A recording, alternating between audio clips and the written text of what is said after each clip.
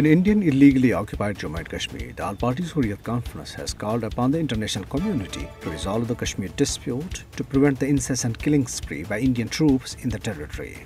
The APHC spokesman, in a statement in Srinagar, lauded the resistance character of the brave people of Jammu and Kashmir and sought intervention by the United Nations Secretary General Antonio Guterres to prevent ruthless killings, infect encounters, arbitrary arrests, and destruction of houses and other infrastructure by the occupation troops. The APHC condemned the continued illegal house detention of Mirwais Muhammad Umar Farooq and other Hurriyat leaders by the Indian authorities. Kashmiris are also humans, and it is high time to raise the slogan that Kashmiri's lives also matter. Kashmir Media Service, in a report released today, said Indian state terrorism continues to wreak havoc with the Kashmiris' lives as unending stories of tragedy and trauma are continuously emerging from Indian illegally occupied Jammu and Kashmir.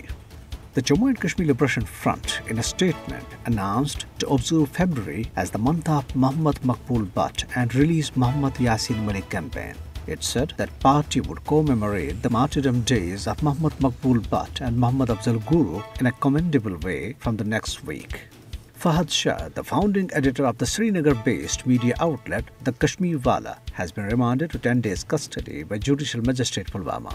He was arrested in connection with the publication of reports on fake encounters in the occupied territory.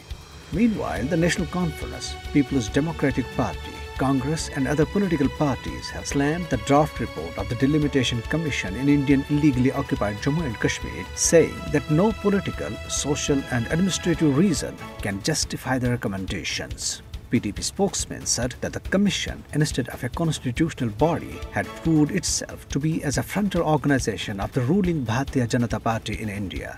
Senior Congress leader Saifuddin Soz said that Indian Home Minister Amit Shah was not reading the situation in Kashmir correctly. On the other hand, Kashmiri diaspora and members of Pakistani community holding banners and placards inscribed with freedom for all, freedom for Kashmir, we demand human rights, gathered outside the Indian embassy in Washington in sub-zero temperature to express solidarity with the people of Jammu and Kashmir. The protest was organized by World Kashmir Awareness Forum and Islamic Circle of North America. Pakistan embassies in Saudi Arabia, Ankara, Turkey, Vienna, Austria, Pretoria, South Africa, and Pakistan consulates in Toronto, Vancouver, and Montreal, Canada also arranged a series of events comprising pictorial exhibitions, screening of documentaries, webinars, seminars, and roadshows to mark the Kashmir Solidarity Day.